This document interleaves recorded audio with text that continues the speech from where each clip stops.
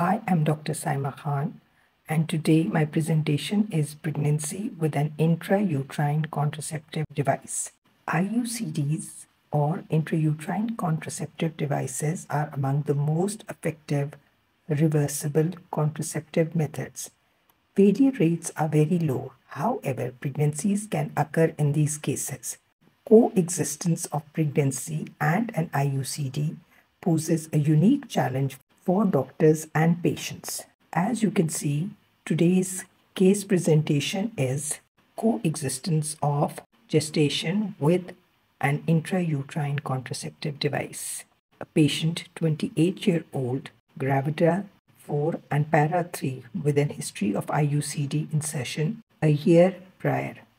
Chief complaints were missed periods and mild lower abdominal cramping.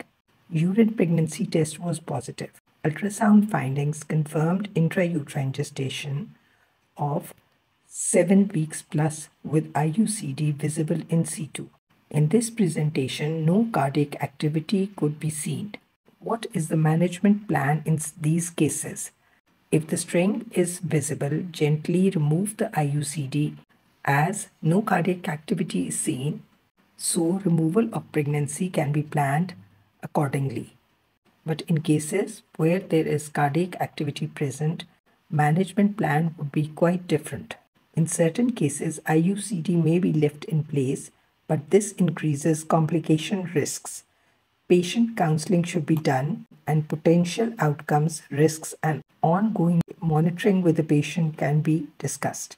Medical monitoring by regular follow-up to monitor fetal development and uterine conditions. Treatment of complications include antibiotics as needed and hospitalization and supportive care. So the conclusion will be pregnancy with IUCD is a rare case but poses significant management challenges. Timely diagnosis, appropriate counseling and individualized care are key to optimizing outcomes for both mother and baby. This case underscores the importance of proper IUCD follow-ups and monitoring.